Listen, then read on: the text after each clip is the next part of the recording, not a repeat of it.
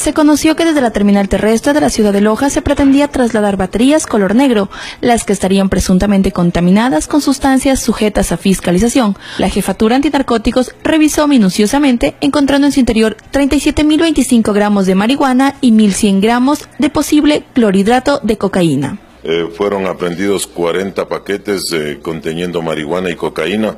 con un precio eh, perdón, con un peso aproximado de 37 mil gramos de marihuana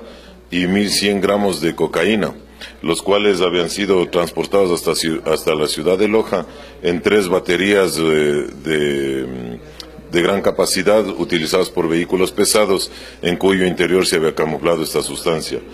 Producto de esta acción fue detenido un ciudadano. Como resultado de los frecuentes operativos, el día de ayer en el Cantón Catamayo se realizó la detención a tres ciudadanos, dos de nacionalidad colombiana y un ecuatoriano, quienes presuntamente serían parte de una organización delictiva que operaba en la zona sur del país, cometiendo varios delitos, entre los cuales sería el robo a domicilio que se movilizaban a bordo de dos vehículos a quienes se les encontró eh, varios objetos eh, que son utilizados frecuentemente para la fracturación de las seguridades en los inmuebles. Eh, con los cuales facilitan el cometimiento de sus actos ilícitos. Estos tres ciudadanos registran eh, un amplio historial delictivo, eh, siete detenciones a su haber y varios procesos investigativos eh, y procesos judiciales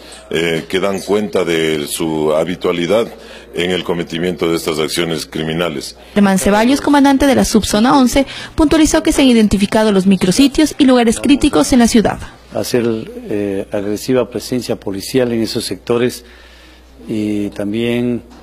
con policía judicial y las unidades investigativas vamos a, empezar a dar, a dar, resultados en las investigaciones, en las denuncias presentadas por las personas que han sido afectadas por cualquier tipo de delito. Para Mundo Visión, María Ángel González. Va a ser tres meses de desaparición y